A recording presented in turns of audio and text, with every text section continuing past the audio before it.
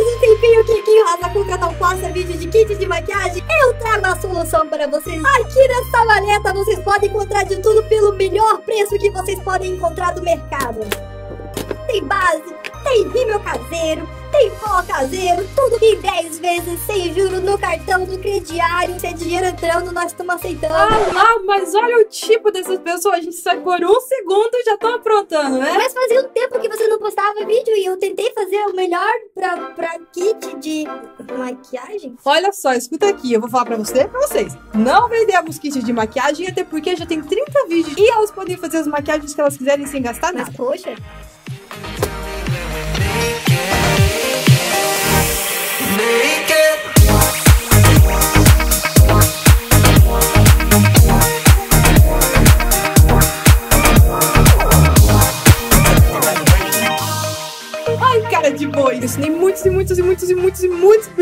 Poderia abrir uma fábrica de maquiagem caseira, né mesmo? Muitas vezes você assiste um vídeo e gosta de um item específico daquele vídeo, gosta de um item naquele outro vídeo. E eu também sou assim. Por mais que eu tenha feito todos os itens e eu gosto da maioria dos vídeos, tem alguns itens que ficaram marcados no meu coração, que eu fui usando com o tempo e que eu também aperfeiçoei eles. Tudo isso vocês vão ver no vídeo de hoje. E eu queria dar os parabéns também pra Valéria Silva, que ganhou o último presentinho do vídeo de sábado. Se você não foi sortuda dessa vez ou a sortuda dessa vez, calma, que amanhã eu vou anunciar um outro presentinho pra vocês. Samba! Nossa, tô com fome.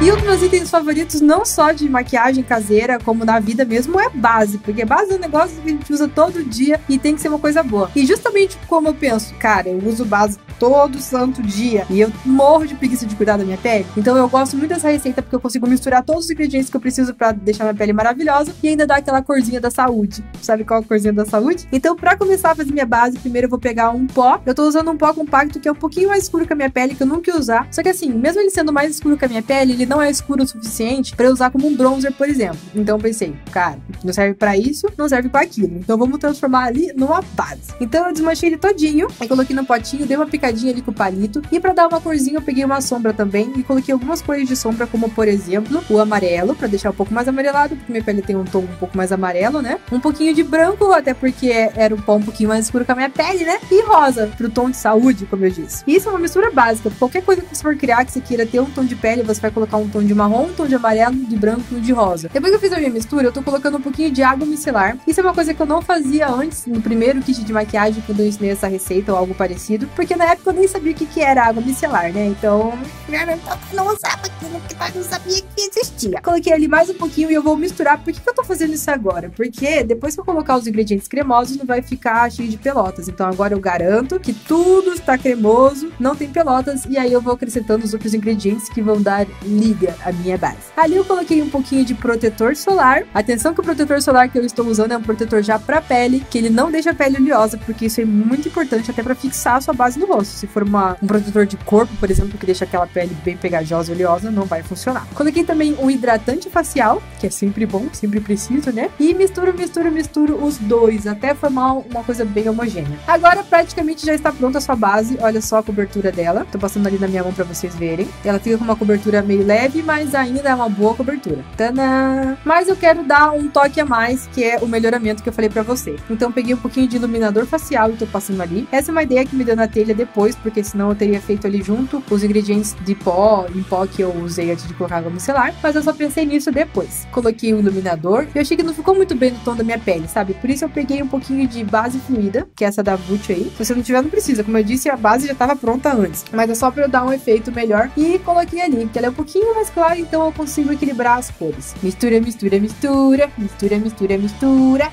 Olha só, ela fica com uma consistência muito boa, já fica aquela base iluminada das gringas. E fica com uma cobertura muito ótima também por causa da ajuda da base fluida que eu coloquei. Ah, agora sim, tá no jeito que eu queria. Maravilhosa. E aí eu passo só esse produto e se eu esquecer de passar o protetor ou de passar o hidratante, tudo bem, porque já tem na minha base. É, Porque rosa cuca é saúde, rosa cuca é... Enfim, essa mistura que eu fiz eu tenho que guardar em algum lugar pra ela não ressecar e nem estragar, né? Então eu coloquei dentro desse potinho aí de vidro, coisinha mais neném desse mundo que eu ganhei de uma marca que me mandou um brigadeiro. Aí eu lavei e falei, é ruim que eu vou jogar esse potinho fora, né? Vamos guardar pra maquiagem. E aí que vai ficar minha base. Quando eu for usar, é só eu pegar e aplicar em todo o meu face. O item 2 também é muito da hora, um dos meus preferidos, que é a sombra em pó, porque é um dos itens que eu ensinei aqui que eles mais funcionam mesmo, que ficam com uma pigmentação assim, ó, top das galáxias, melhor até que muita sombra que eu comprei assim de loja, sabe? E para isso tudo você vai usar apenas maisena, corante alimentar, que como vocês viram ali no começo, tem de todas as cores possíveis do mundo, e álcool. Mas não se preocupem porque o álcool não vai fazer mal, porque a gente tá colocando ele só pra dar liga, depois ele vai evaporar todinho e tá tranquilo, tá joia. E como eu disse, você pode fazer de várias cores. Então eu quero fazer uma paletinha assim, ó, de sombra pá, assim, sabe? Sombra cheguei, cheguei chegando, essa sombra mesmo. Então eu fiz uma roxa, mas assim, bem roxa, bem forte. Depois eu fiz uma bem rosa. E é a mesma coisa, o mesmo procedimento para qualquer cor que você for usar. E se você quiser, você pode também misturar uma cor na outra e fazer vários tons, assim, uma paleta inteira. E aí você coloca uma colher de maisena, pode ser talco também, mas eu gosto muito da maisena. E, e algumas gotas de tinta comestível, bastante, porque quanto mais tinta você colocar, por mais que pareça muito forte, é melhor para pigmentar bem depois. E álcool você vai colocando aos poucos até ele ficar numa consistência assim, não tão líquida, mas também não pode ficar muito duro, entendeu? Uma consistência meio termo. Aquela consistência de maisena mesmo que você bate, ela fica dura, mas se você mexer, ela se mexe junto. E para vocês verem que dá para fazer de todas as cores mesmo, mesmo, mesmo, eu fiz um bem preto, assim, preto, pá! Essa tinta preta alimentícia eu comprei em loja de confeiteiro, porque não é todo mercado que tem. Eu não sei porquê, é um pouquinho mais difícil de achar. Mas eu fiz a mesma coisa, só que dessa vez eu coloquei muito corante mesmo. E eu mexi, só que eu coloquei tanto corante que na hora que eu coloquei o álcool, ele virou uma sopa e não quis a consistência. Por isso, aos poucos, eu fui colocando um pouquinho mais de maisena até ela ficar numa boa consistência. Agora, nessa paletinha minha, que tinha umas sombras ali que tinham acabado já, eu limpei ela bem, deixei ela bem bonitinha. E eu fui colocando com a colherzinha ali, ó, uma gotinha em cada recipiente. Coloquei a roxa, coloquei coloquei a rosa, que tá bem vermelha. Acho que essa é vermelha mesmo. Agora sim que eu vou colocar a rosa. Que aí no vídeo nem dá pra ver diferença muito entre uma e outra, né? Mas tem bastante diferença. E lá embaixo eu coloquei do preto. É, ó, ela já vai se assentando. Não tem nem que botar em muita quantidade, não. E aí com a faquinha eu fui ajustando, espalhando bem, com calma. E agora que é a parte que a gente vai prensar. Que a gente vai fazer é, a extração do álcool dessa sombra. Pra fazer isso, eu peguei papel higiênico limpo, pelo amor de Deus. papel higiênico bem limpinho, assim, aquele nunca usado, assim, que não passou nem perto do banheiro, esse mesmo. Eu vou dobrar um pedacinho e vou encaixar em cima da minha sombra e vou com o dedo dando apertadinhas assim, ó. O papel higiênico e sugando o líquido, tá vendo? Mas eu faço assim, ó, sem pressa, porque senão vai misturar uma cor da outra, não é isso que a gente quer, né? Olha lá, o meu roxo ficou tão roxo que ele virou azul. Mas tudo bem, né? Fazer o quê? E eu faço isso umas três vezes, porque na primeira vez que eu colocar o papel, ele vai ficar totalmente molhado. Aí eu tiro, coloco o papel novo, aperto de novo, três vezes, e aí eu deixo secando. Quando ele estiver bem sequinho, você já pode testar e passar no olho. Olha a pigmentação negócio. Olha esse rosa, gente. Vê se não é maravilhoso. Olha o vermelho. Eu fiquei muito chocada com o vermelho, gente. Olha isso. Nus, nus. O azulzinho, que era pra ser roxo, mas ficou azul, fazer o quê? E o preto, ele ficou com fundo um pouco de marrom. Não entendi por quê. Acho que é porque eu tava com o dedo sujo do vermelho ainda na hora que eu passei. Mas ficou muito legal também, né? Vamos combinar. Esse próximo item também é uma paletinha que eu vou carregar pra cima e pra baixo, e pra mim funciona muito. E, nossa, você não tem noção de quanto eu usei essa receita, mas é claro que eu dei uma melhoradinha também básica, né? O que eu vou fazer são batons, eu vou fazer minhas cores preferidas de batom, as que eu mais gosto na vida, e eu vou conseguir carregar isso no potinho só e levar pra cima e pra baixo sem nenhum acidente. Tudo que eu vou precisar nessa receita é uma gotinha de base, a base que você usa mesmo, que você tem em casa, e um pouquinho de sombra. Quanto mais sombra você colocar, mais forte vai ficar seu batom. Quanto menos sombra você colocar, mais com o tom da base ele vai ficar, só que com a nuance da cor que você quer. Aí sim, ele vai ficar tipo assim, se você colocar pouca sombra, ele vai ficar um nude rosado. Mas eu quero um batom, um batom, um batom forte. Então eu coloquei bastante, e a hora que eu vi que eu coloquei mais sombra do que base, né, eu coloquei um pouquinho mais de base, e eu fui misturando. Isso daí você tem que ter paciência, tem que fazer de boa, com calma, opa, tranquilidade. E eu fiz três cores, uma com um tom de rosa, outra com tom de laranja e outra com tom de rosa. É, também. Um ficou vinho, outro ficou laranja e outro ficou meio rosa. E a mesma coisa, você vai misturando, misturando com a base até ficar bem homogêneo, até você não ver mais o tom da base e você não ver tanta pelotinha, tá vendo? E eu gosto muito, gente. É um dos meus batons preferidos mesmo, porque eu gosto do tom que fica da base no fundo, sabe? Porque não fica aquela coisa tão passe, tão cheguei. Fica um negócio assim com um tom meio nude, sabe? Eu gosto, gosto muito. E quando eu terminei, aí que entra a parte que eu resolvi dar uma aprimorada, porque quando eu usava esse batom, ele era só a base, que geralmente era mate, com sombra. Então, automaticamente, se eu usasse todo dia, ele dava uma ressecada na minha boca. Por isso, eu resolvi colocar uma gotinha dessas essências, sabe? Tipo farsale. Então, eu coloco uma gotinha ali e misturo porque ele já é um super hidratante. E é a mesma coisa da minha primeira base, que eu poderia usar uma base normal de mercado, mas eu gosto de usar a caseira de verdade porque ela já protege meu rosto. E é a mesma coisa esse batom. Eu poderia usar um batom normal, só que nem todo batom vem com hidratante. E o meu vem super hidratante, porque eu mesmo coloco o meu ponto de hidratação. E aí na hora que você for usar, olha só a pigmentação deles. É a mesma consistência de batom, gente, é maravilhoso. Ele seca bem, ele pigmenta bem e ele fica bem lindo na boca, sério.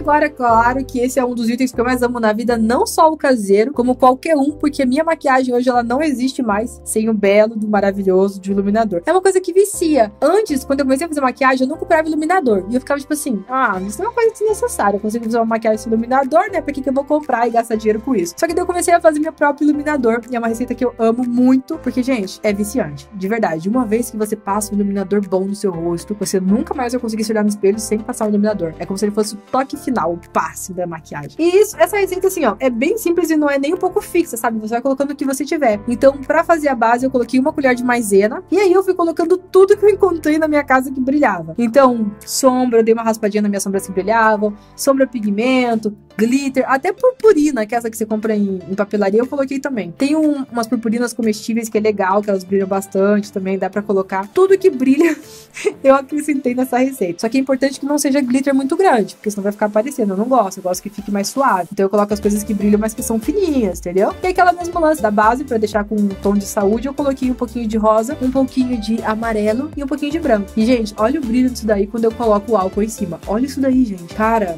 sensacional. Só por esse brilho você já consegue ter uma noção de como é que vai ficar esse iluminador, né? E ele funciona mesmo, ele é muito pigmentado. Então eu misturo tudo, tudo, tudo, tudo, tudo. Ele tem que ficar brilhoso assim. Se ele não ficar brilhoso na hora que você colocar o álcool, ele não vai ficar brilhoso na hora que passar na sua pele. E aí, em um potinho limpo desses que tinha um, um pó, aquele mesmo que eu usei na primeira receita, eu reutilizei o pote. Eu tô colocando ali a minha misturinha de, de iluminador. Do jeito que tá aí, você já pode fechar e esperar secar e pronto. Mas eu quero dar aquele detalhe extra, né? Então eu peguei o pozinho solto de, de sombra pigmento e fui jogando em cima. Desse jeito mesmo, ó. Pá, pá, pá, pá. Fui polvilhando em cima pra ele ficar com esse detalhe, esse marmorizado legal que tá em cima. Agora, a mesma coisa básica de todo grande especialista em fazer maquiagem em casa, que é pegar o papel higiênico, dobrar, colocar em cima e macetar. Pegar o papel higiênico, dobrar, colocar em cima e macetar. E de novo, pegar o papel higiênico, dobrar, colocar em cima e macetar. Agora você deixa secar bem, eu gosto de deixar de um dia pro outro pra ele ficar bem sequinho mesmo. E você já pode carregar e usar nas suas maquiagens. E olha só que coisa mais maravilhosa desse mundo. Ui, muito neném. Hum, neném.